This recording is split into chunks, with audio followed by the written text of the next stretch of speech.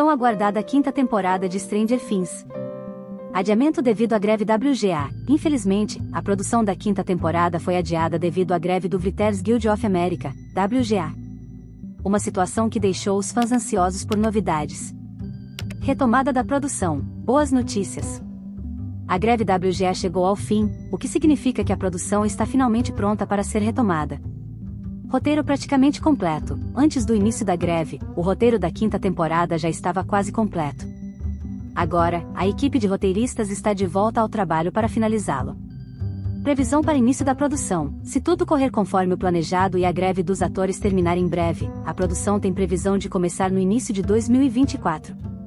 Tempo de filmagem. Segundo David Arbor, a quinta temporada levará cerca de um ano para ser filmada, o que nos leva a prever que a produção provavelmente terminará no início de 2025.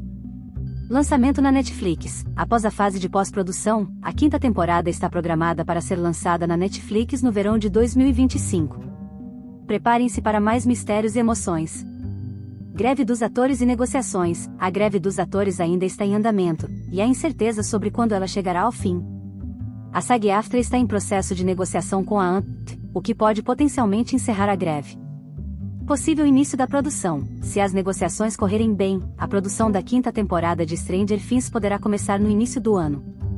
Vamos cruzar os dedos para que tudo se resolva rapidamente. Fiquem ligados para mais atualizações sobre o universo de Stranger Things. E claro, não deixem de compartilhar nos comentários o que estão mais ansiosos para ver nessa nova temporada. Até a próxima, galera!